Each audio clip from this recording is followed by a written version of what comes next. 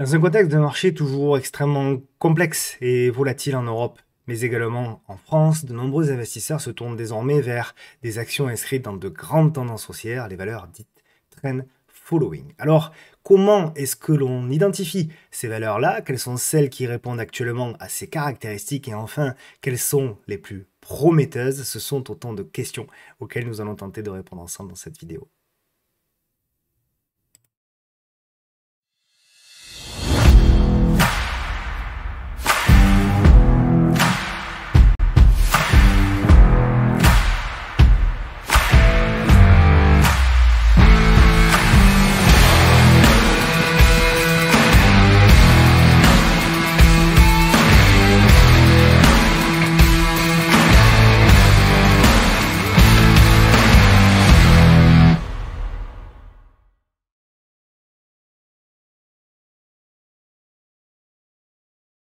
Bonjour à toutes et à tous et bienvenue sur votre nouvelle vidéo hebdomadaire bourse, trading et investissement qui s'intitulera cette semaine Top 30 Trend Following. Comme d'habitude, le petit message d'avertissement qui stipule que le contenu de cette vidéo est à unique but pédagogique et informatif qui ne constitue en rien un conseil que vous êtes seul responsable de vos investissements et donc de vos trades pour me suivre sur les différents réseaux Twitter, TikTok, Instagram, Tino, tiré du bas bourse, le groupe Facebook privé du podcast de la bourse et enfin la chaîne YouTube sur laquelle vous êtes où vous pouvez activer la clochette afin de recevoir une notification dès lors que je publie une nouvelle vidéo. Je remercie chaleureusement l'ensemble de mes partenaires qui me permettent de vous délivrer ce contenu gratuitement. Trade République, bien entendu, Ibu, expert fondamental, euh, Urutia, le cabinet de gestion privée pour passer votre patrimoine au niveau supérieur, et enfin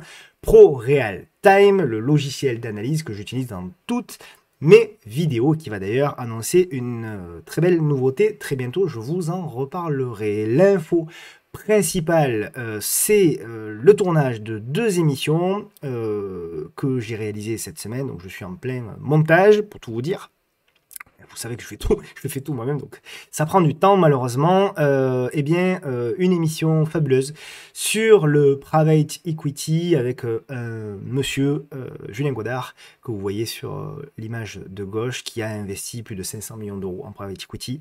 Donc voilà, hyper intéressant, hyper pointu, passionnant, un échange avec avec Julien et avec bien sûr Olivier du cabinet Urutia. Donc j'espère que voilà, dans la quinzaine, 15 euh, jours, 3 semaines, cette vidéo pourra être mise à votre disposition. Et bien sûr, la vidéo également avec euh, le directeur France, Monsieur Vincent Grard euh, de Trade République, avec qui nous avons également parlé bien évidemment, de Trade République, des projets, de l'actualité de Trade République. On a parlé de tout un tas de sujets hyper intéressants, des tendances qu'on pourra surfer à l'avenir. On a parlé également des ETF. Et on a parlé, bien sûr, je lui ai posé la question euh, sur l'actualité du PEA. J'ai euh, des réponses, il y aura des réponses dans cette vidéo euh, sur la potentielle arrivée ou non du PEA chez Trade Republic. Voilà, donc tout ça, je fais le maximum pour que cela vous soit livré le plus rapidement possible. Euh, comme d'habitude, euh, merci beaucoup hein, pour l'ensemble, bien sûr, de, vos commentaires, de vos messages. Euh, la semaine dernière, la vidéo a battu un record de vues également, on a plus de 7000 vues. Donc merci beaucoup. Les commentaires également, comme je le disais, sont extrêmement nombreux et c'est terriblement encourageant. Vous me donnez une force fantastique tous les vendredis. donc voilà, je sais que peut-être pour vous, de laisser un commentaire, ça, ça vous paraît peut-être pas être grand-chose. Mais euh, je peux vous garantir et je peux vous promettre qu'à chaque fois que, je lis vos commentaires bienveillants, eh bien, euh, je me dis, purée, euh, ça donne envie de, continuer, ça donne envie de proposer encore plus de contenu gratuitement et du contenu gratuitement. Gratuit, il y en aura, vous le savez, puisque euh, le 5 novembre, il y a la newsletter gratuite qui sera livrée, dans laquelle on parlera de bourse, on parlera d'investissement au sens large. Vous aurez accès à un portefeuille anti-crise qu'on a créé et que vous pourrez copier. bref, vous allez voir, je vous décrirai ça la semaine prochaine. Mais voilà, ça va être fabuleux, tout le, contenu qui va arriver pour la fin de l'année et toute l'année 2025. Donc merci parce que tout ça, finalement, euh, bah, ce ne serait pas possible si vous n'étiez pas là et si vous n'étiez pas euh, tous extrêmement fidèles et surtout tous de plus en plus nombreux. Donc merci du fond du cœur pour tout ça. On passe désormais à l'analyse des actions avec bien sûr le CAC et le CAC Small. On parlera de Saint-Gobain, de Schneider Electric, de Thales, de Danone, Safran, Euronext, de Richebourg, AB InBev, Clépierre, Biomérieux, Corbion, Prosus, Elior, KPN, Unibail, Alstom, Bureau Veritas, Agias, UCB, Pulup, euh, Aramis, Osimuno, Neuron, EP Start aux États-Unis, PayPal, MicroStrategy, Meta Platform, ARM Holding, Nvidia et enfin le titre à suivre qui est un titre que je vous avais proposé il y a quelques semaines, je crois, et qui a validé un certain nombre de caractéristiques et de signaux intéressants. On passe désormais, euh, bien sûr, au résumé donc, de la semaine. Je vais en profiter, comme d'habitude, pour activer ma petite webcam. Voici, me voilà. Donc, le résumé de la semaine, il va passer assez vite. Parce que, en effet, vous le savez, nous sommes euh, dans, des périodes de publication. Donc, finalement, l'économie euh, est un petit peu, quelque part, mise de côté. Mais on va commencer par une satisfaction enfin une belle satisfaction puisque euh, eh bien, euh, le sujet qu'on avait abordé la semaine dernière, c'était le sujet de, la flat tax. Et on était, je crois, tous fermement opposés à l'augmentation de cette flat tax. La bonne nouvelle, euh, c'est que cette flat tax a été rejetée, l'augmentation de cette flat tax a été rejetée. et donc, on, on ne peut que quelque part s'en satisfaire. Alors, est-ce que c'est en partie quelque part, l'union sacrée que nous avons eue toutes et tous, les créateurs de contenu et celles et ceux qui les suivent, euh, cette espèce d'union sacrée sur euh, Twitter, est-ce que ça a joué dans la balance euh, pour, voilà, dans, le refus de cette augmentation? Euh, écoutez, j'ai envie d'y croire. Voilà, j'ai envie d'y croire parce que je pense que le, mouvement qui, a, qui s'est exercé, c'est, le week-end dernier notamment, a été euh, puissant, pas violent, euh, puissant, parce que justement il s'est fait sans violence, sans agressivité, et c'est ce qu'on disait, c'était le plus important. Donc, eh bien, je, me plais à croire que nous avons eu toutes et tous une petite partie d'influence sur ce refus-là. Donc, en tout cas, voilà, c'est super positif, même si malheureusement il va y avoir taxes très certainement, hein, sur d'autres sujets, notamment l'immobilier, etc. Euh, d'ailleurs, certainement, je vous communiquerai là-dessus. Mais en tout cas, sur la flat tax, euh, il n'y a pas eu pour le moment cette euh, augmentation. Donc ça, c'est la bonne nouvelle. À peu près la seule, du moins en France, puisque là, en revanche, mauvaise nouvelle, mais une mauvaise nouvelle qu'on a l'habitude de voir, malheureusement, ce sont les PMI manufacturiers qui continuent de baisser et qui continuent de, décevoir en France, puisque eh bien, ils sont ressortis à 44,5 attendu 44,6, mois précédent 44,9. Donc euh, voilà, on a de quoi s'inquiéter finalement pour euh, notre économie française, du moins une partie. Euh, juste, je précise parce que quelqu'un m'a demandé très justement, et je m'en excuse, je vous précise pas toujours malheureusement ce que sont les, PMI et surtout euh, comment on les mesure, qu'est-ce que ça veut dire d'avoir un indice à 50, etc. Donc l'indice des directeurs euh, d'achat PMI manufacturier du secteur manufacturier français mesure l'activité des directeurs d'achat du secteur manufacturier. Un résultat au-dessus de 50, c'est un peu contre-intuitif, hein, mais un résultat au-dessus de 50 indique une expansion, en dessous indique une contraction. Actuellement, donc, nous sommes sous 45, ce qui veut dire que, évidemment, nous avons bel et bien une contraction. Et, ce qu'on voit quelque part sur ce, sur ce, graphique, c'est que depuis 2021, euh, depuis mai 2021, c'est une belle, malheureusement, tendance baissière, avec certes des rebonds, mais qui à ce stade euh, ne retourne pas la tendance, et on a véritablement donc une, malheureusement pour nous, une véritable tendance baissière. C'est assez inquiétant. Euh, cette semaine a été dictée, bien sûr, par les publications. Donc, vous avez devant vous euh, le graphique qui affiche le nombre de publications, le cumul France, Belgique, Pays-Bas sur le quatrième trimestre. On vient d'une semaine absolument euh, lourde en termes de nombre de publications. Nous avons également deux semaines à venir qui sont un peu moins lourdes, certes, mais quand même très très importantes on va pas, euh, on va pas les passer les unes après les autres. Hein, les publications, ça n'a aucun intérêt. Par contre, ce qu'on peut dire quand même que dans l'immense majorité, je parle des publications françaises, bien sûr, dans l'immense majorité, elles sont pour le moins euh, décevantes et sinon euh, inquiétantes. Il y a quelques publications qui sont voilà, moins catastrophiques peut-être que ce qu'on attendait, mais enfin, dans l'immense majorité, euh, on a de quoi quand même être inquiet en France. Alors voilà, toute la question, c'est de savoir, et j'y reviendrai un petit peu plus tard, est-ce que finalement ça remet en question notre scénario, voilà, un rebond un petit peu plus profond pour la fin de l'année? Pas pour le moment, et je vous expliquerai pourquoi euh, lors notamment de l'analyse du CAC dans quelques minutes. On passe désormais à la question de la semaine, la question de la semaine qui est liée au sujet du jour, puisque la question de la semaine c'est qu'est-ce que le trend following? Alors le trend following, c'est euh, finalement, euh, si vous voulez, une, stratégie. Une stratégie qui euh, consiste à prendre des positions à l'achat ou à la vente. D'ailleurs, alors souvent on parle de trend following à l'achat parce que nous, en tant que, comment dirais-je, collectionneurs d'actions, acheteurs d'actions, on suit des actions pour les acheter. Et on, certains shortent bien évidemment hein, les actions, mais quand même l'immense majorité des investisseurs achètent des actions. C'est pour ça que souvent on, pense que le trend following, ce sont des positions à l'achat. Or, le trend following n'a rien à voir avec euh, l'achat ou la vente, ça a juste à voir avec la position, euh, la tendance dominante d'un actif, que ce soit donc à la hausse ou à la baisse.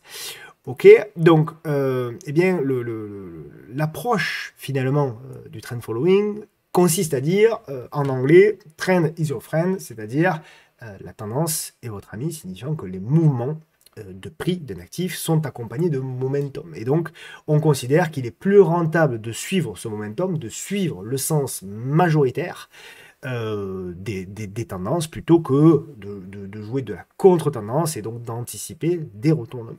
Ok?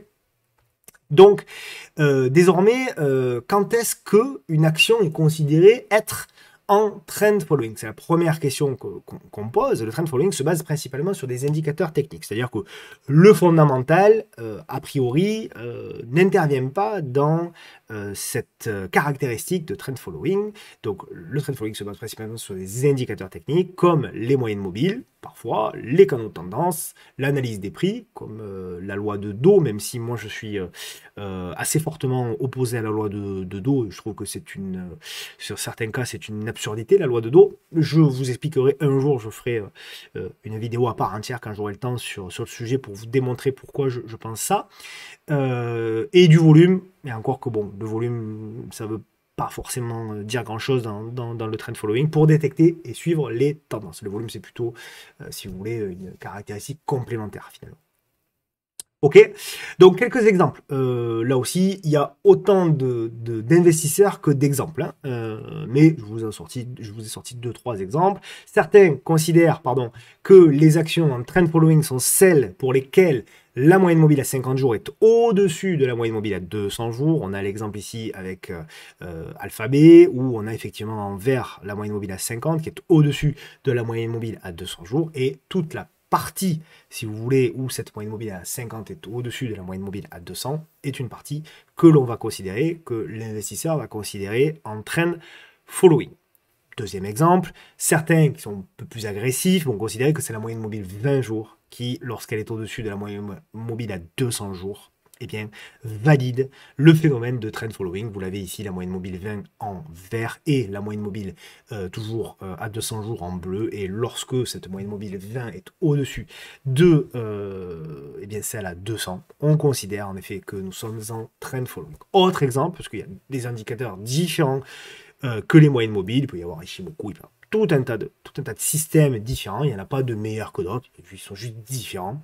D'autres considéreront que les actions en trend following, par exemple, sont celles qui se situent au-dessus d'un super trend, un super trend que vous pouvez paramétrer d'ailleurs de la manière que vous souhaitez. Et effectivement, lorsqu'on est au-dessus du super trend, par exemple, on peut considérer que nous sommes en trend following. Alors, nous, pour cette euh, vidéo, euh, moi, pour cette vidéo, j'ai créé un, screener que je vous partagerai d'ailleurs euh, dans, la newsletter très, très certainement. Rappelez-moi si j'oublie, je vous le partagerai, il n'y a, pas de souci, je vous ouvrirai le code avec grand plaisir. Moi, je prends un exemple assez très très basique j'ai tout simplement considéré que les titres euh, eh bien, en, trend following étaient les titres pour lesquels la moyenne mobile à 200 jours était haussière. Je vous montre un exemple concret. Euh, vous voyez, on a la moyenne mobile ici à 200 jours qui est bleue, donc elle est haussière. Lorsqu'elle est rouge, elle est baissière. Et donc toute la partie où elle est bleue, elle est haussière, on considère que l'action est en trend following. Voilà, c'est euh, complètement le,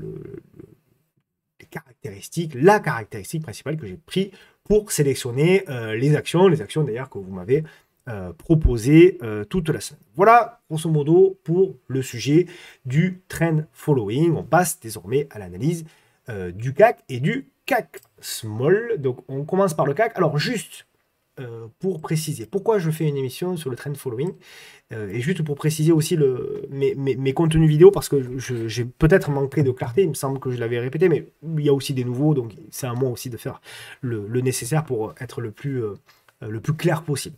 Euh, certains dans les commentaires, euh, je crois la semaine dernière, on dit une personne, en vrai, il n'y a pas certains, une personne a dit c'est pas bien, dans tes vidéos, tu montres des actions aussi baissières. Il y a des haussières, mais il y a aussi des baissières, c'est pas bien.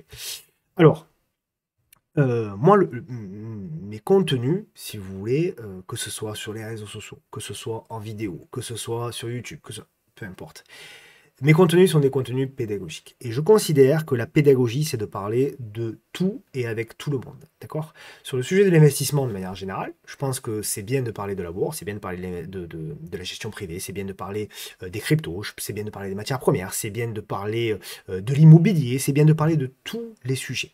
De la banque notamment.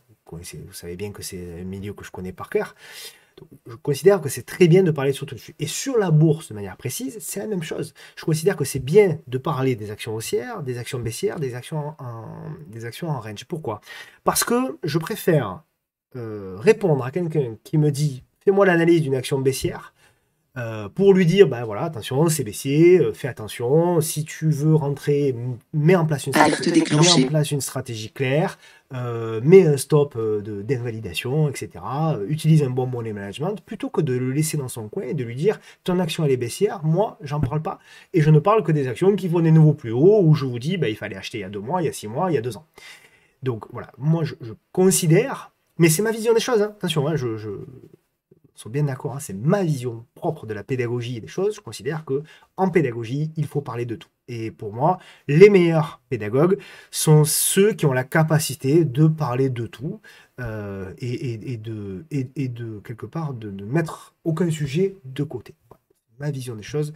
Et, euh, je pense que ça, restera. Donc tout ça pour dire que aussi, euh, très important, les actions que je propose dans mes vidéos, ce ne sont pas des actions à acheter. Ce sont des actions qui m'ont été proposées dans lesquelles je vais faire une, modeste analyse avec et, donner mon, modeste avis fonction de mon expérience, en fonction de ce que de, ce que j'ai vécu par le passé, ce que je vis actuellement, etc. lorsque j'investis. Euh, mais en aucun cas, ce sont des conseils d'achat et des recommandations ou encore des actions préférées. D'accord? Là, vous allez voir, on fait un top trend, trend following, un top 30, pardon, trend following. Il y a des actions, je vais vous dire, je considère que ça vaut pas le coup d'y aller. Et la je veux dire, c'est un peu plus prometteur, d'accord? Donc, il faut vraiment euh, faire le, distinguo. C'est pareil, euh, je vous le dis souvent, je n'ai pas la capacité de savoir où vont les actions, c'est impossible. Euh, si je savais comment deviner où vont les, actions, vraiment, je, vous, le confierais, mais j'ai aucun moyen. Je peux effectivement, par contre, vous dire, bah, les tendances, elles sont belles, la configuration technique, elle est belle, la, la congestion, est intéressante. Le ratio gain-risque est intéressant. C'est une action fondamentalement qui est intéressante ou qui ne l'est pas. Euh, voilà, ça je peux le faire. Mais par contre, vous dire cette action-là, euh, dans deux mois, elle aura fait plus 20 ou elle aura fait moins 20, je suis dans l'incapacité de vous le dire. Voilà. Et si un jour ça change, euh, je vous le dirai. Mais à ce stade, en tout cas, ça n'a malheureusement pas changé. Voilà, je voulais juste faire une parenthèse importante sur, sur ces sujets-là. Je passe désormais à l'analyse du CAC. Bon, l'analyse du CAC, elle est la même depuis grosso modo début octobre. Euh, je reprends un petit peu l'antériorité parce que c'est toujours important lorsque vous faites une analyse de prendre du recul. Déjà, premier élément qu'on peut dire, c'est qu'en effet, le CAC 40, il est dans une tendance haussière. Donc certes, on souffre depuis, je crois, début mai sur le CAC, mais jusqu'à preuve du contraire, on voit bien que ce CAC 40, quand même, euh, c'est une belle tendance haussière. belle tendance haussière, même depuis, euh, depuis plus de 10 ans, d'accord? Alors, bon, il y a eu le, crash Covid, effectivement, qui a, qui, a, apporté beaucoup de volatilité, et de la volatilité, il y en a régulièrement, mais malgré tout, pour moi, la tendance, elle est toujours haussière. Et je considère même que tant qu'on tient cette oblique ici en surbrillance, nous sommes toujours dans une tendance haussière. Premier élément. Deuxième élément, nous avions effectivement une baisse importante, puisque nous avions effectivement euh, un CAC 40 qui s'était inscrit sous une oblique, dans une tendance baissière, cette oblique elle a été pétée, on a fait le pullback, on a fait la congestion, on a cassé la congestion par le haut. Cette congestion, on a tenté un breakout ici, qui a été raté. Je pense qu'il a été raté parce qu'il y a eu un manque de conviction des investisseurs, c'est pas un piège, souvent qui c'est piège, etc. Les hedge funds euh, euh, font euh, de la manipulation, tout ça. Je suis pas du tout dans ce délire-là, moi, en tout cas. mais en tout cas, je pense qu'il y a un manque de liquidité, notamment sur le CAC, qui a fait que, bah, voilà, au lieu finalement bah, de construire ici, dans cette zone-là, pour ensuite démarrer une tendance haussière, on a manqué de cash, on a manqué de présence d'investisseurs, et donc du coup, ça a reflué. Maintenant, je zoome encore un petit peu. Euh, on s'inscrit depuis effectivement le 1er octobre dans un range qu'on avait, euh, qu'on avait parfaitement identifié, un range entre 7450 et 7600 points. C'est un range très court, assez rare. C'est assez rare hein, de voir ce genre de phénomène-là pendant 2-3 semaines. Un, cas qui euh, est dans un range près de 2%, c'est extrêmement rare. Vous voyez, quand on prend un peu de, recul, voilà, ça arrive. Voilà, là, il y avait des petits moments comme ça, ou là, mais c'est quand même assez rare et c'était moyen de temps. Euh, par contre, effectivement, ce qu'on peut dire, c'est que quand on va sortir de là, il y a fort à parier que le marché va prendre une, bonne direction. Donc ça, c'est euh, un élément qu'on avait évoqué, mais ça ne fait pour moi, à ce stade, que confirmer ça. Euh, maintenant, quel est le, biais, le scénario? Pour moi, le scénario, à ce stade, il n'a pas changé. Je pense que, je pense dit que c'est ce qui allait arriver, j'ai dit je pense, et je joue toujours, tant qu'on tient les 7450 points, 7430, 7450, vous avez compris, tant qu'on tient cette zone-là, je joue toujours le scénario d'un minimum de rattrapage du CAC pour la fin de l'année. D'accord? Ça ne veut pas dire que ça va arriver, ça veut dire que tant que le graphique ne me démontre pas le contraire, je reste quelque part dans cette euh, manière de penser là, dans ce scénario principal. Maintenant, si on vient s'installer en dessous, bah, je serai le premier à dire bah, ce scénario il est invalidé, on passe à autre chose. Voilà, et on essaye d'aller chercher un petit peu plus bas pour vouer finalement quelque chose de, plus intéressant. Mais tant que voilà, on tient le, bas de ce range-là, je joue toujours ce scénario-là. On verra, encore une fois, euh, eh si ce scénario-là est validé ou pas sur le CAC. OK? Euh, le CAC Small. Désormais, le CAC Small, donc lui, euh, alors il n'est pas tout à fait dans la même configuration technique euh, mais il, est dans le même état d'esprit, c'est-à-dire que, si vous voulez, on est toujours dans de l'attentisme, c'est-à-dire qu'on a effectivement, de la même manière que le CAC, on a une figure de, congestion. Pareil, cette figure de congestion, ça fait un moment qu'on l'a identifiée. Et, comme je vous le disais précédemment, il y a fort à parier que ce soit une grosse figure de congestion. Et il y a fort à parier que euh, ce soit une figure de, consolidation qui, derrière, euh, débouche sur un mouvement euh, hyper directionnel. Ok? Donc voilà, pour moi, euh, quelque part, le CAC Small, lui aussi, il est dans une espèce de neutralité et on fait du zigzag entre les bornes basses et les bornes hautes. Tant qu'on n'a pas pété l'oblique baissière ici en pointillé noir ou l'oblique haussière ici en pointillé noir, il n'y aura pas véritablement direction, euh, pour moi, donnée par le marché à moyen terme. Par contre, si effectivement on brise ça, ah là, pour moi, on aura du rattrapage à faire pour aller chercher 12 000 et éventuellement un petit peu plus haut, on verra tout ça. On passe désormais donc aux actions, aux actions qui répondent donc aux caractéristiques que l'on avait euh, évoquées, hein, c'est-à-dire, euh, eh bien, voilà, effectivement, ici, euh, les caractéristiques donc, de, trend following, c'est-à-dire euh, pas au-dessus, mais avec une moyenne mobile, pardon, 200 euh, jours qui est haussière, donc on démarre par Saint-Gobain. Effectivement, Saint-Gobain, eh on voit bien, hein, parfaitement bien d'ailleurs, que, en effet, nous sommes, nous sommes bel et bien dans une tendance haussière. toutefois, que ce soit, alors d'abord pour les investisseurs, moi je pense que les investisseurs, on n'est pas sur des zones d'investissement, je pense que ce sera bien plus bas, on n'y est pas encore bien sûr, Mais à ce stade, je considère que c'est quand même, ça ressemble quand même à une potentielle fin de structure. Donc voilà, ça joue un peu, pourquoi pas, des supports, etc. Mais moi, sur Saint-Gobain, en tout cas, euh, je considère que quand même, euh, le ratio gain-risque à ce stade, à part vraiment pour du trading, et encore que pour du trading, pour moi, Saint-Gobain n'est pas assez volatile pour pouvoir se, régaler et faire de, bons décalages. Euh, c'est une de mes valeurs préférées, donc j'en parle là aussi avec, beaucoup de facilité. Hein, mais malgré tout, je suis obligé de, vous dire que pour moi, en tout cas, le ratio gain-risque, n'est pas assez intéressant, que ce soit pour des investisseurs ou pour des traders euh, voilà, pour, pour, rentrer. Euh, Schneider Electric, elle est ici. Donc Schneider Electric, c'est un peu la même chose. C'est un peu la même chose que Saint-Gobain. Euh, voilà, on commence par des valeurs qui, pour moi, n'ont pas, en tout cas, un intérêt immense. sont en train de faire le win. C'est ça aussi qu'il faut. C'est pour ça que je vous montre de tout, parce que si vous voulez, c'est pas parce qu'une action est en trend following qu'il faut obligatoirement l'acheter non plus. Privilégier les actions en trend following, c'est très bien.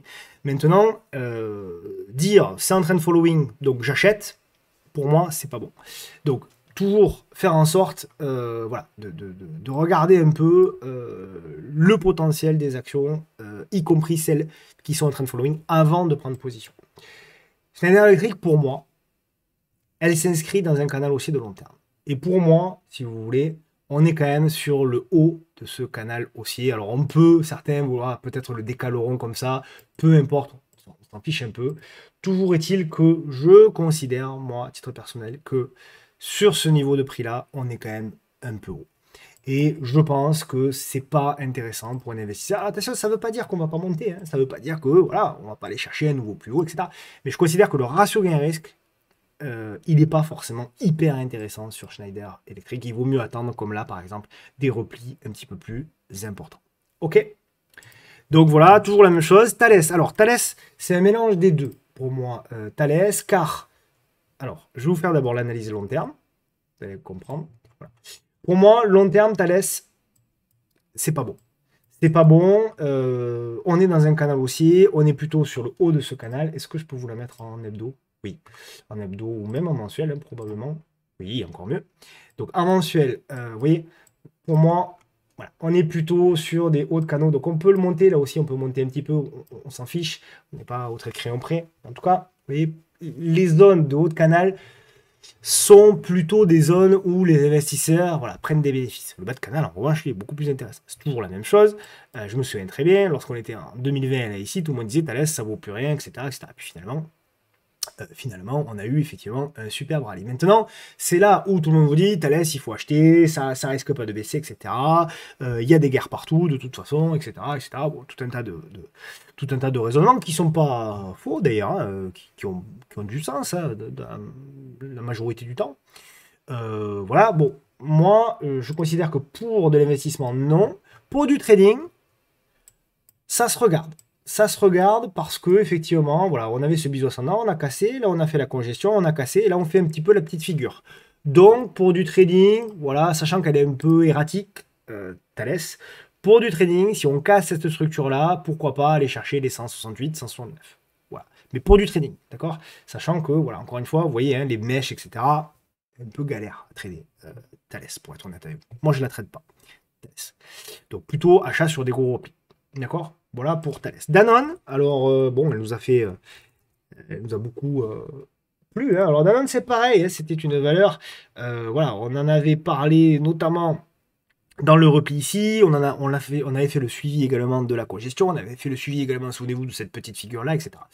Euh, donc voilà, valeur qui pour moi est en mode un peu recovery, hein, là aussi. Alors recovery c'est une tendance haussière hein, de long terme, euh, mais voilà, pour du trading je trouve que c'est intéressant, pour de l'investissement non, mais pour du trading je trouve que c'est intéressant, et pour le moment elle suit parfaitement les scénarios qu'on avait proposés. C'est-à-dire que quand on avait eu la cassure, souvenez-vous, on avait dit il faut attendre la petite figure pour rentrer, la petite figure elle l'a faite, elle l'a fait. Euh, derrière, euh, euh, elle, a, elle a breaké, on a eu un beau mouvement. Alors c'est mou, hein, Danone, attention. Hein. Quand, on fait, un mouvement comme ça, c'est le bout du monde. Hein. C'est un mouvement de, de, de 10%. Danone, c'est le max que vous pouvez tirer sur Danone. C'est pas l'action la plus directionnelle au monde. Mais en tout cas, En tout cas, euh, pour le moment, elle suit bien les scénarios. Et pour le moment, vous voyez, voilà, il y a une structure là aussi qui se met en place. On peut le tracer comme on veut. Et pourquoi pas, au-dessus des 66 euros, il y aura peut-être encore un moment à aller chercher, pourquoi pas, pour aller chercher notamment la zone ici, la zone de gap baissée ici, pourquoi pas des plus hauts historiques. Donc voilà, pour moi c'est plutôt pas mal Danone, même si vous attendez pas à avoir, sauf euh, news incroyable, hein, mais a priori, vous n'aurez pas des rendements incroyables euh, dans, le portefeuille. Par contre, c'est vrai que ça peut être agréable d'avoir une, valeur un petit peu plus euh, pépère, moins soumise à la volatilité. C'est vrai que dans un portefeuille, ça peut équilibrer ça peut équilibrer d'autres positions. Safran, donc euh, pareil, une valeur euh, dont je peux parler assez facilement, puisque c'est une de mes valeurs préférées, mais là aussi, euh, Safran, voilà, je, ne suis pas effectivement sur une figure qui me donne envie d'investir à long terme dessus. Je sais pas qu'on peut aller chercher là aussi des nouveaux plus hauts, mais je considère que investissement, plutôt milieu bas de canal, plutôt que le haut de canal, là où nous sommes actuellement. Maintenant, voilà, euh, ça fait du zigzag. Bon, d'ailleurs, on le voit, hein, on est sur les mêmes niveaux que euh, mars 2024. Donc euh, voilà, ça fait quand même, on va dire, six mois, grosso modo, à peu près, où voilà, on, fait trop rien. Donc pour moi, plutôt achat sur repli sur, sur Safran. Et pourquoi pas, voilà, pour les plus agressifs, si vous avez effectivement une petite congestion par là et que vous voulez jouer, paf, une dernière cassure pour la fin d'année, pourquoi pas. Investissement, titre personnel, je reste plutôt de côté. Euronext, qui s'est euh, bien reprise. Hein. Alors pareil, hein, c'est une action, plus personne n'en voulait, cette action. C'est super bien repris. Donc, euh, nous avions effectivement, on en avait parlé lorsqu'elle était ici. Vous avez dit, voilà, euh, désormais, on va avoir soit un repli, soit effectivement, on aura la cassure. Mais pour moi, ce n'était pas des zones d'investissement, c'est toujours pas des zones d'investissement. Pour autant, on est bel et bien sur une action en trend following. D'ailleurs, celle-là est en rouge. D'accord? Donc pour moi, c'est plutôt achat sur repli. Vous voyez, sur Ronex, comme là, comme là, etc. etc., etc. Voilà. C'est là où c'est plutôt plus intéressant. Euh, il n'y a pas eu. Ah si, il y a une. Voilà, pour les traders, il y a eu une petite, congestion qui était éventuellement exploitable. Bon, là, c'est pareil. Hein. Euronext, c'est pas la plus nerveuse. Donc, euh, voilà. Euh, mais, voilà, ceux qui, le veulent, des petites congestions comme ça. Le potentiel n'est pas immense. Voilà, moi je considère que c'est plutôt, c'est plutôt des, zones euh, de vente. Vous voyez Ici, ici. attention quand même dans cette zone-là qui n'est pas un peu de refus. Je considère que le potentiel là aussi, il n'est pas forcément bon. De Richebourg, c'est une action qu'on suit. Là par contre, pour moi, on est euh, sur. Alors là, on est sur une action euh, en potentiel début de trend following. Euh, puisque pour moi, vous voyez, on a la moyenne mobile à 200 jours qui est en train de se relever. D'accord? Donc ça, c'est euh, intéressant. On en avait parlé à la cassure ici, à la cassure ici. Bon, bref. En tout cas, je considère que sur de Richebourg, bah, je vais faire un peu de nettoyage hein, parce que ça fait un moment que je gribouille sur le même graphique. C'est un peu gonflant. C'est pas très propre, on va dire, surtout. Voilà. Donc là, ce qu'il va falloir observer sur du Richebourg pour euh, les prochaines semaines, c'est la congestion dans cette figure-là. Si effectivement vous voyez que sur de Richebourg, vous avez une congestion qui se met en place, vous avez de la réduction de la volatilité, vous avez une réduction des volumes, vous tentez éventuellement une cassure pour aller chercher un trend following de long terme. D'accord? L'objectif, quand on joue une prise de position en début potentiel de trend following, c'est de jouer un mouvement euh, vraiment de moyen long terme. D'accord? On ne sait pas si ça va le faire, mais en tout cas, on a le, le début des caractéristiques qui se mettent en place. D'accord? Moi, j'aime toujours essayer de rentrer au début de la mise en place du trend following. Je prends un exemple ici. On a ici, vous voyez, la moyenne mobile à 200 jours qui se, redresse ici. Et là, vous avez la première pattern, le premier pattern. Et c'est là où, effectivement, vous avez le maximum de gains. En revanche, quand vous tentez de rentrer en plein milieu ou à la fin, alors vous pouvez prendre des morceaux, hein, bien sûr, de trend, mais voilà, euh, c'est pas, euh, en termes de ratio c'est pas le meilleur. Donc le meilleur, c'est effectivement quand c'est des potentiels débuts de tendance. On ne sait pas si elles vont tenir, on ne peut pas savoir. Mais c'est des potentiels débuts de tendance. D'accord? C'est ce que j'explique souvent. Euh, vous, connaissez ma passion pour, la mer euh, et la Méditerranée notamment. Euh, pour moi, on peut vraiment faire un parallèle avec les, les marchés et l'analyse technique. C'est-à-dire que une vague, lorsqu'elle arrive, la seule chose que vous pouvez faire, et, sur laquelle vous pouvez avoir certitude, c'est qu'il y a une vague qui se met en place. Vous ne pouvez pas savoir la taille ni la durée. C'est impossible. Euh, par contre, vous pouvez savoir que c'est le début d'une vague. Ça, on le sait. Euh, et donc, à partir de là, pour moi, l'objectif, c'est toujours d'essayer de rentrer dans des débuts de vague. Et après, la suite, c'est le marché qui décide, c'est pas vous. Il est à mon sens impossible, ou du moins j'ai pas trouvé en tout cas, mais si quelqu'un euh, veut en commentaire m'expliquer euh, euh, comment il a trouvé, je, suis preneur.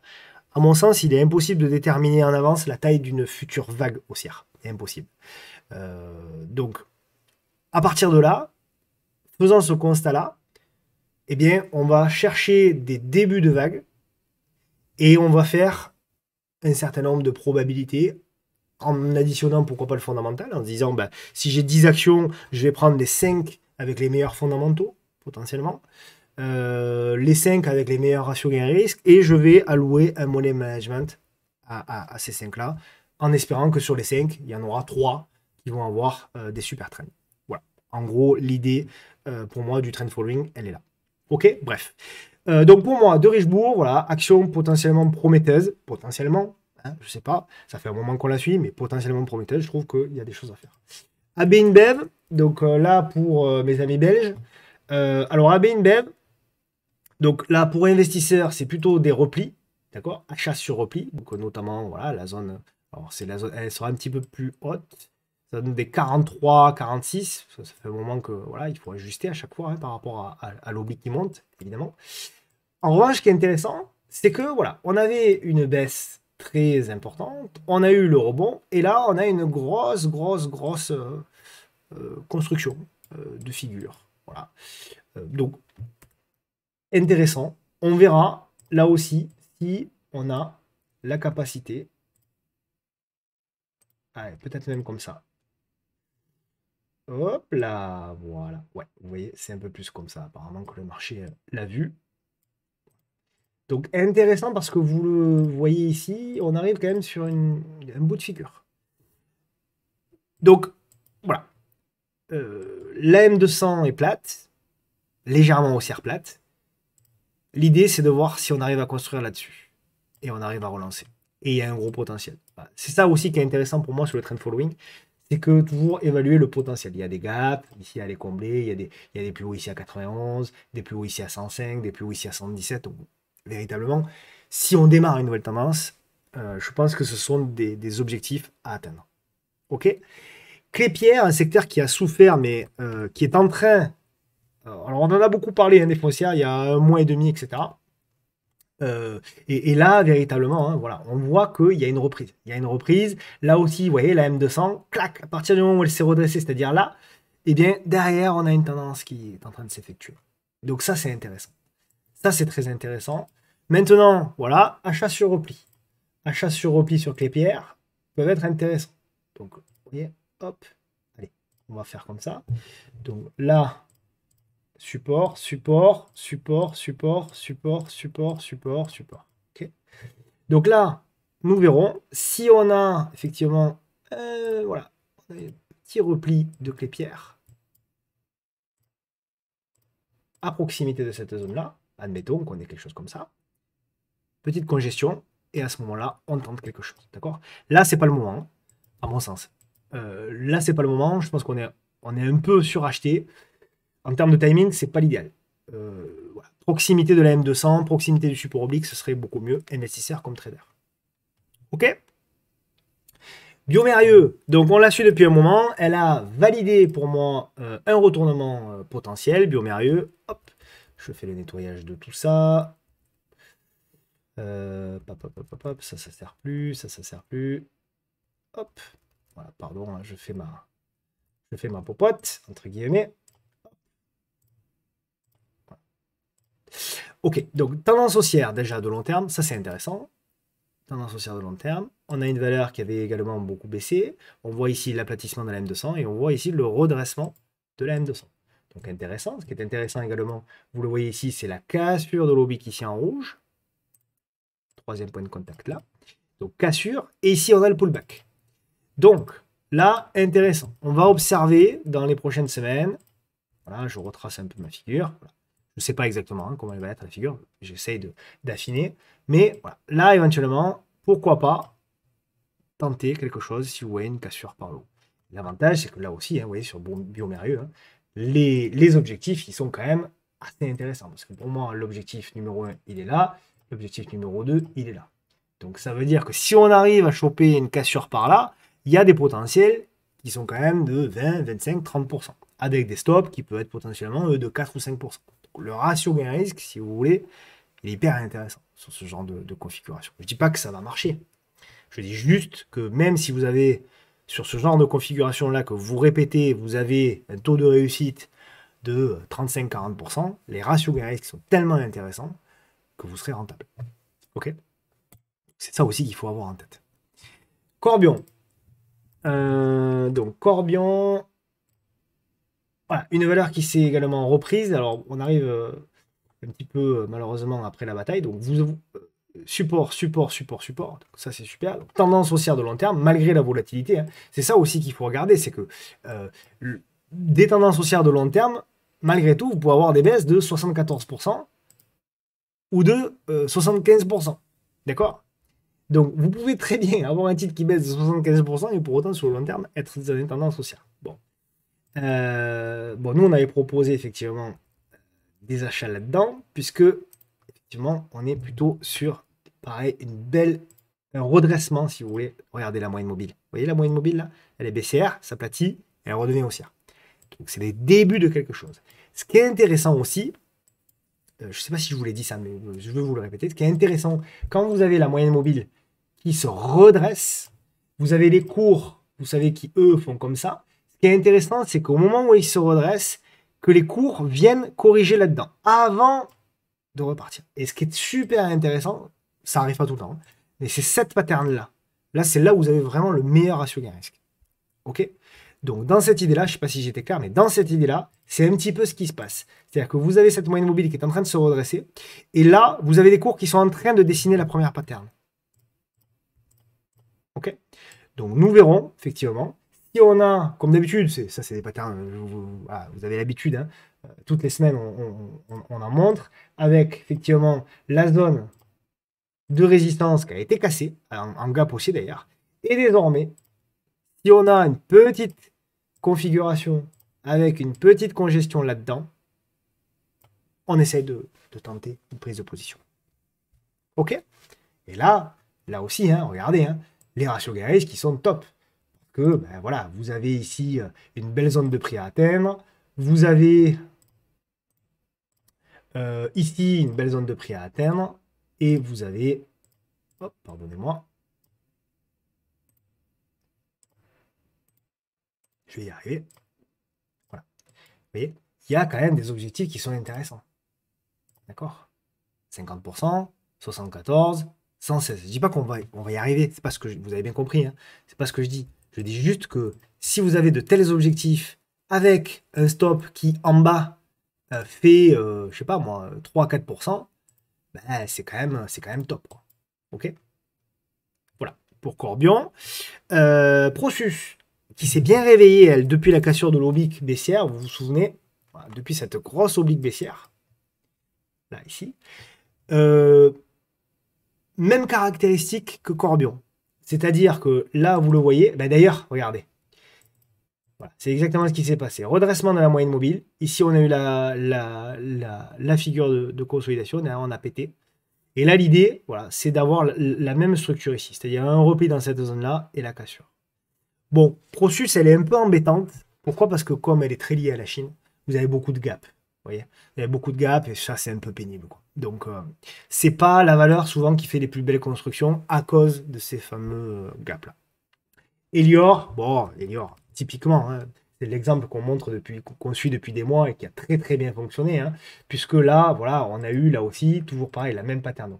Euh, une moyenne mobile à 200 jours qui s'est redressée. À partir du moment où elle se redresse, on a la première position. Vous avez proposé un achat ici au-dessus des 3 euros et quelques. Ici, on a la première pattern qu'on avait également identifiée. Magnifique, superbe. Voilà, ça, c'est des, cadeaux du ciel, quoi. Ça, c'est des cadeaux du ciel. Alors, malheureusement, il n'y en a pas beaucoup sur le marché.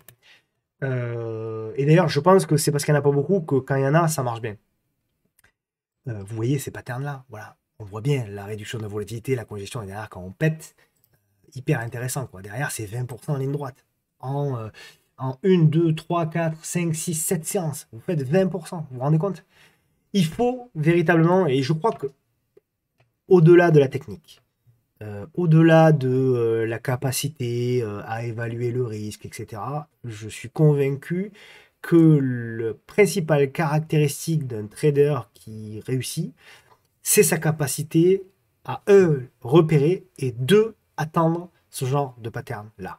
Voilà. Il n'y a pas de bons ou de mauvais traders. Il n'y a pas souvent sur les réseaux, euh, les uns se comparent aux autres, etc. Euh, et, je vais vous dire un truc, même la performance ne veut rien dire. C'est pas parce qu'on a une meilleure performance que quelqu'un à notre gauche ou à notre droite qu'on est meilleur. Il y a plein d'autres choses qui influencent notre performance, la taille de nos positions, la taille de notre portefeuille, euh, notre, notre manière de trader. Est-ce que vous êtes 24 heures sur, 24 sur l'écran? Est-ce que vous être qu'une fois 10 minutes tous les soirs ou une fois par semaine? Pour moi, vraiment, la diff elle se fait dans la capacité de repérer certains patterns et d'avoir la patience de les attendre. C'est le plus difficile. Et moi, le premier, transparent comme d'habitude, je trouve que c'est vraiment la chose la plus difficile à faire. Quand vous arrivez à faire ça, si vous arrivez au bout du bout à faire ça, euh, vous serez inévitablement, pour moi, euh, des, des investisseurs gagnants. ok? C'est pareil pour le long terme, c'est pareil pour le moyen terme, c'est pareil pour le court terme, c'est pareil pour l'intraday, c'est pareil pour l'immobilier, c'est pareil pour absolument tout, je dirais même dans la vie. C'est euh, la capacité juste à identifier ce qui fonctionne, à l'attendre et à le répéter. Euh, tac, tac, tac, tac, tac. KPN. Alors, moins connu, KPN, euh, comme, comme valeur, hein, côté à, c'est côté à Amsterdam. Euh, donc c'est une valeur que vous avez présentée euh, ben, à la cassure ici, donc ça doit être au mois d'avril, quelque chose comme ça.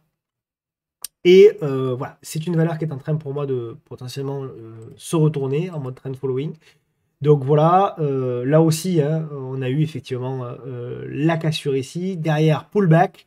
Et pour moi, la première pattern, en fait, si vous voulez, d'ailleurs je, je vous l'avais dessiné là, mais en fait, finalement, la pattern, elle était là. D'accord? C'est toujours pareil. Euh, la pattern, on peut l'identifier, on peut pas savoir. C'est difficile de savoir à quel niveau elle va se situer. Le top, c'est quand elle se situe sur un niveau euh, de pullback, comme exactement ce qui s'est passé sur KPN. Vous voyez, gros niveau, paf, paf, support, support, support. Donc là, ça, c'est intéressant. C'est vraiment ça qu'il faut essayer de trader. Euh, et là, voilà, là, on avait effectivement pour moi le signal qui était au 2 Alors, je vais la mettre l'OAV, je m'en excuse, j'aime pas ça. Mais bon, là, c'est vraiment dans un but pédagogique. Voyez, on avait pour moi le signal qui était la cassure ici, la cassure ici des 3,60€. Donc après le stop, pour moi, il se mettait sous le dernier plus bas, c'est-à-dire ici, d'accord? Et après, vous accompagnez. Alors vous prenez potentiellement un TP, hein, c'est-à-dire que quand vous avez fait, donc on a un stop à 2%, vous vous rendez compte? Donc on va chercher 4,5, donc vous pouvez prendre un TP. Et après, ben, vous essayez d'accompagner le plus longtemps possible. Ok? Euh, pour moi, on est encore qu'au début, hein. c'est-à-dire que là, effectivement, on bloque, vous le voyez, sur des zones de résistance. Donc là aussi, on peut avoir une pattern qui se met en place avec une tasse séance. Donc c'est vraiment une action qu'on peut également suivre à l'avenir. Unibuy, une action qui s'est également euh, beaucoup reprise, euh, bien bien reprise. Hein. donc c'est une action qui a énormément, pardon, j'ai pas fait le ménage, ça c'est des backtests précédents. Grosse baisse, on s'inscrit dans une pattern. Je vais vous la montrer peut-être en mensuel. Voilà, en mensuel, elle est encore plus propre. Donc là, on joue un scénario vraiment beaucoup plus long terme sur une eBay de retournement. Donc on avait effectivement un titre qui était en support ici en 2005, support ici en 2009. On a cassé le support, on a fait le pullback, on est reparti à la baisse. Ici, on a fait d'ailleurs une petite, euh, une petite oblique, on l'a cassé.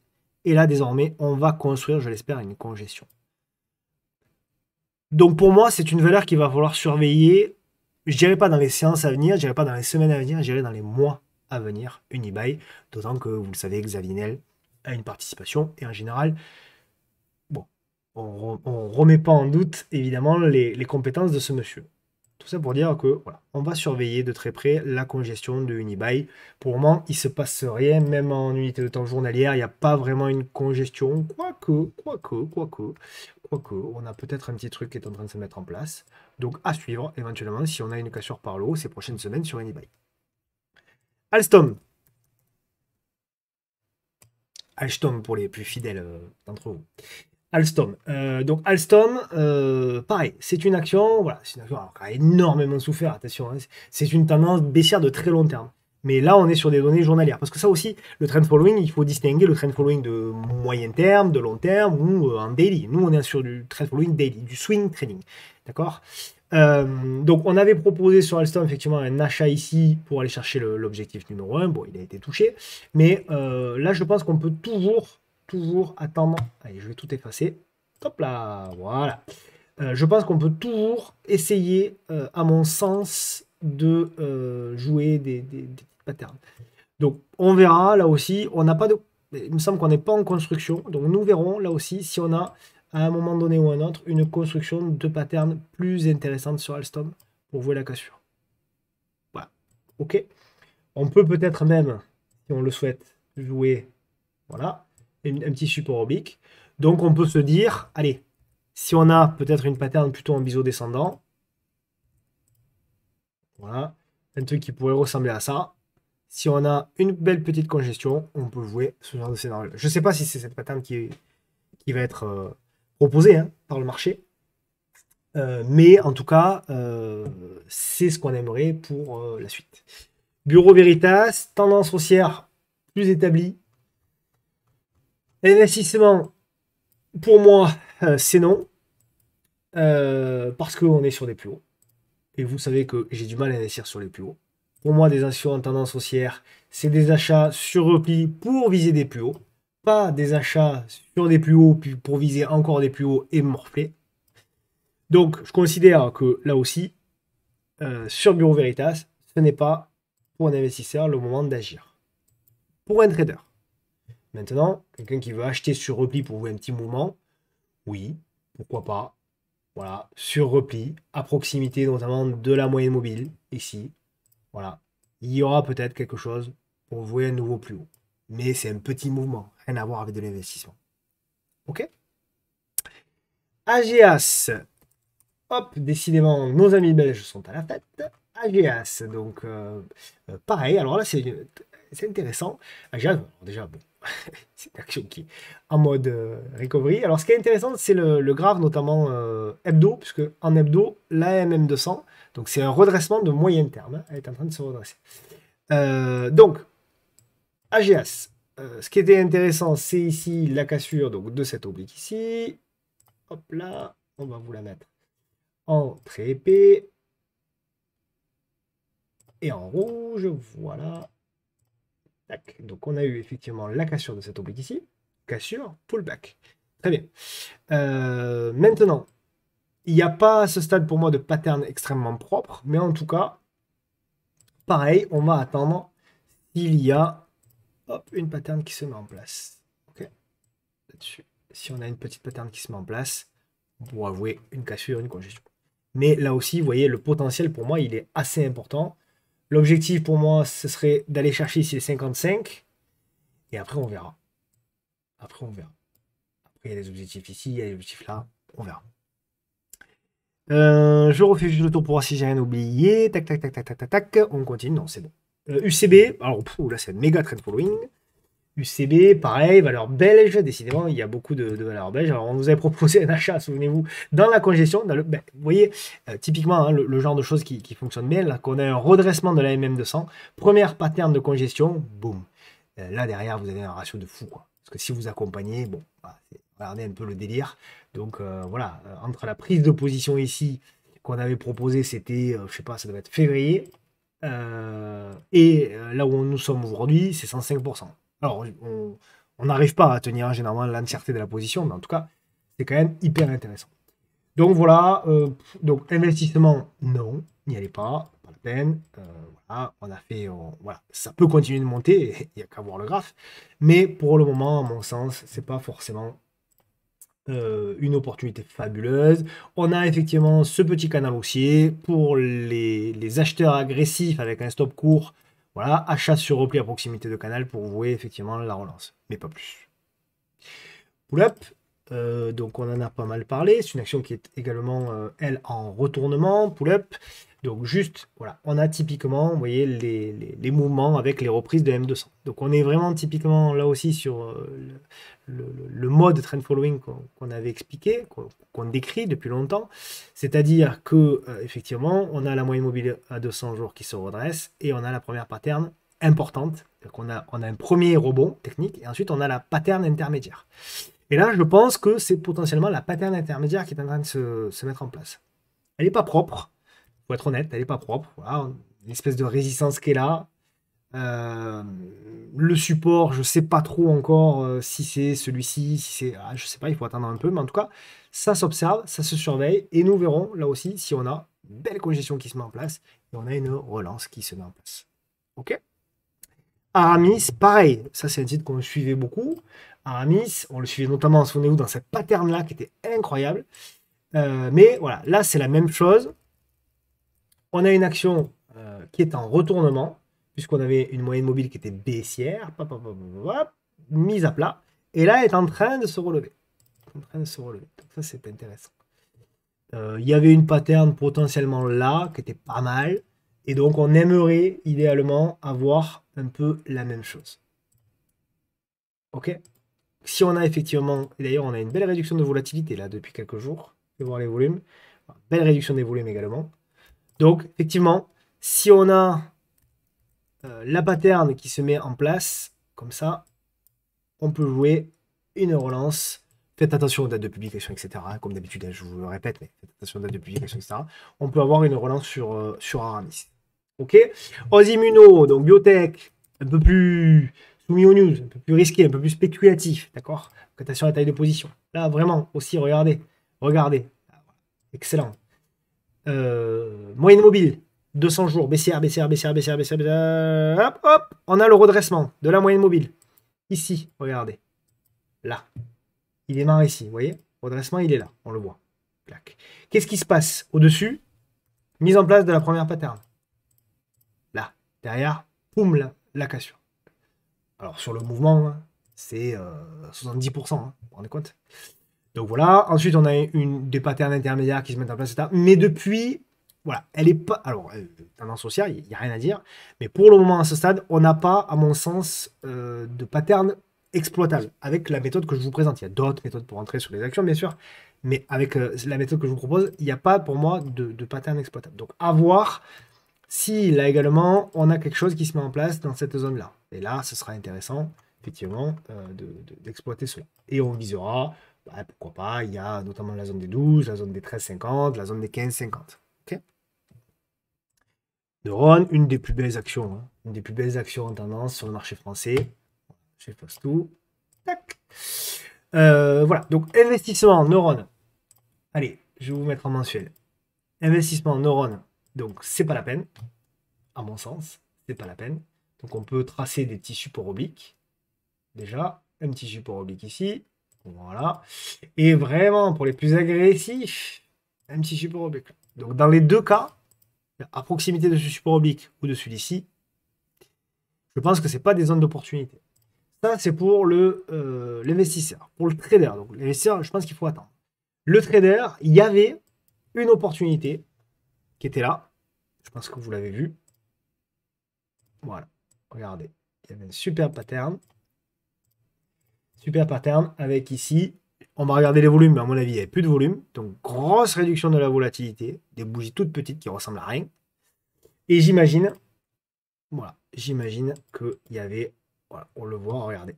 Regardez dans cette zone-là, il n'y avait absolument plus de volume puisqu'on avait 20 000 euros échangés. Donc ça, c'est des trucs qui sont importants. Et là, on avait d'ailleurs même un double top apparemment. Les deux bougies rouges là, double top derrière, pouf. Belle accélération. Voilà, maintenant c'est pas très liquide. Euh, donc euh, voilà, pour rentrer, pour de l'investissement ou du trading, euh, plutôt rester sur le côté. En revanche, effectivement, si clairement on a une pattern qui se met en place là, avec une réduction de la volatilité comme celle-ci là, on peut tenter. Euh, on part aux US. Alors, aux US, il y, a de tout. Euh, il y a des actions comme UPStar qui sont en train. J'efface aussi. J'efface tout ce qui avait été fait précédemment. qui sont en train, voilà, de, de je trouve, très baissière, vous voyez, la moyenne mobile, elle s'aplatit, etc. Donc là, je trouve qu'on est en train de, déclencher les choses qui sont intéressantes sur EP Star. Euh, il y a eu cette première pattern là, magnifique. Je ne l'ai pas pourtant, c'est une action que j'ai beaucoup tradé par le passé. Ceux qui, étaient là dans les premières vidéos, c'est une action dont on parlait beaucoup. Euh, donc UP Star, donc la cassure ici, regardez la congestion. Et là, il y a peut-être également quelque chose qui est en train de se mettre en place. Donc à suivre si on a la mise en place de quelque chose. Donc pour moi, c'est pas mal. Premier objectif sur UP euh, Star, on va chercher les 72. Deuxième objectif, c'est ambitieux, mais pourquoi pas, après tout, il faut l'être. 158 dollars. J'ai dit euros, dollars. Ok Pas mal, hein, la pattern. Donc là, c'est des potentiels débuts. Donc pour moi, ça fait partie du trend following plutôt à classer en, en action prometteuse trend following. PayPal, c'est un peu la même chose. Alors ça fait un moment qu'on la suit, hein, PayPal. Donc euh, là aussi, voilà. Mais là, vous voyez, on est vraiment, regardez, baissière, baissière, baissière, baissière, baissière, baissière, baissière, baissière, baissière, aplatissement de la, de la, moyenne mobile et relèvement de la moyenne mobile. À partir du moment où elle se relève, là, on a une pattern. Alors, on n'a pas eu la pattern qu'on espérait, c'est-à-dire pour le moment le, repli, mais peut-être que ça viendra. En tout cas, il y a une belle congestion qui s'est mise en place là. Ok? Donc, c'est pas mal. Euh, les plus agressifs d'entre vous, euh, voilà, euh, peut-être une cassure au-dessus des 90. Sinon, si vous avez ce repli-là aux alentours des 73, 74, avec la, pattern qui se forme, là, ça peut être vraiment cool. Là, on peut vraiment se régaler. Ok? Là, c'est pareil, je pense qu'il va y avoir la date de publication bientôt. Hein. Micro-stratégie. tac, tac, tac, tac, tac, tac, tac, tac, tac. Elle est où Micro? Je l'ai pas? Si. Elle est là. Euh,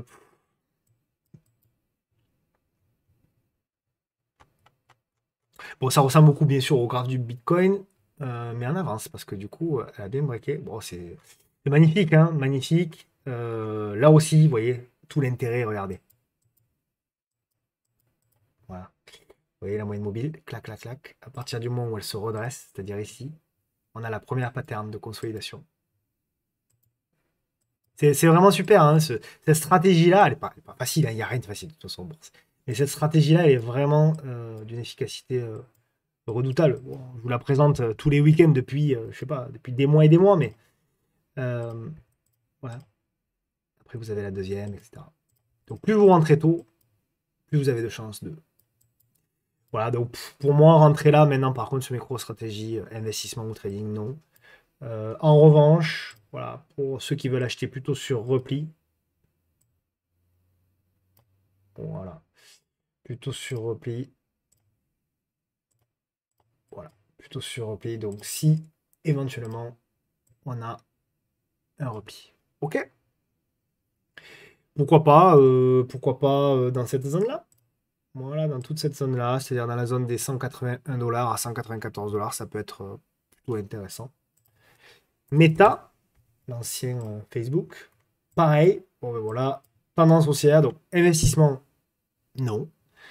Euh, pour moi, c'est trop, c'est trop, trop cher. Donc euh, oui, ça peut monter, mais vous pouvez avoir, il y a un gros risque de, correction. donc là, on avait proposé, ben, on en avait parlé le vendredi 12 avril. Vous avez proposé un repli dans la zone et l'espérance d'une congestion. Il y a eu une toute petite congestion. Il fallait la voir. Hein. Elle était là. Voilà. Euh, mais mais, mais pas évident. Elle n'était pas énorme et il fallait vraiment jouer euh, la cassure des 448 dollars en mode agressif.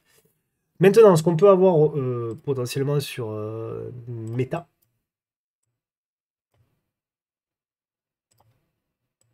c'est éventuellement ce genre de choses. D'accord? Donc on va observer et on va voir si là aussi on a la construction d'une pattern sympa.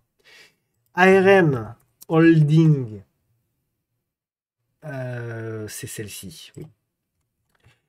Euh, ah, c'est une action récente. Ah, intéressant. Intéressant, ça a l'air volatile en plus. Ça a l'air volatile. Oh oui. Alors, ARM Holding. Euh, pour moi. Ouais. Pour moi, c'est plutôt ce genre de choses-là. Donc, achat sur repli. investissement, je ne connais absolument pas. Je ne peux pas vous dire ce que ça vaut. Mais en tout cas, pour du trading, là, on est pas mal. Si on arrive à faire une petite pattern là-dedans, aux alentours des 133 dollars, on joue la cassure. OK? Pour jouer, si vous voulez, la cassure, quitte à renforcer après la cassure de cette oblique ici. OK? Là, ce serait top. Donc, vous pouvez prendre une, petite, demi-position ici, à renforcer si vous avez de nouveau une congestion ici pour jouer le mouvement là. Pas mal. La config me plaît beaucoup. On verra, mais en tout cas, la, config technique me, plaît beaucoup. Et enfin, avant de passer au titre à suivre, Nvidia. Nvidia qui a euh, validé un nouveau plus haut historique. Impressionnant.